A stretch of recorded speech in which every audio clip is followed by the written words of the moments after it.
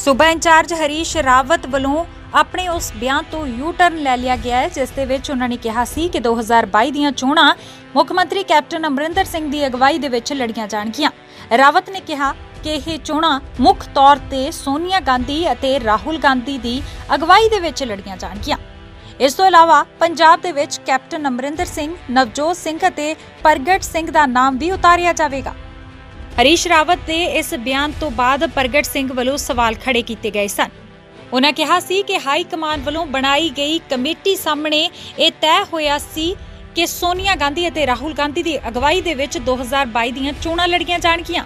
ਫਿਰ ਰਾਵਤ ਦੱਸਣ ਕਿ ਉਹਨਾਂ ਕੈਪਟਨ ਅਮਰਿੰਦਰ ਸਿੰਘ ਦੀ ਅਗਵਾਈ ਵਾਲਾ ਬਿਆਨ ਕਿਸ ਹਿਸਾਬ ਦੇ ਨਾਲ ਦਿੱਤਾ ਅਤੇ ਇਹ ਕਦੋਂ ਤੈਅ ਹੋਇਆ ਦੱਸ ਦਈਏ ਕਿ ਹਾਈ ਕਮਾਂਡ ਵੱਲੋਂ ਲਗਾਤਾਰ ਕੋਸ਼ਿਸ਼ਾਂ ਕੀਤੀਆਂ ਜਾ ਰਹੀਆਂ ਹਨ ਕਿ ਮੁੱਖ ਮੰਤਰੀ ਕੈਪਟਨ ਅਮਰਿੰਦਰ ਸਿੰਘ ਅਤੇ ਨਵਜੋਤ ਸਿੰਘ ਸਿੱਧੂ ਦਾ ਮਨ ਮੁਟਾਓ ਖਤਮ ਕੀਤਾ ਜਾਵੇ। ਤਾਂ ਜੋ 2022 ਦੀਆਂ ਚੋਣਾਂ ਦੇ ਵਿੱਚ ਇਸ ਦਾ ਕੋਈ ਅਸਰ ਨਾ ਪਵੇ।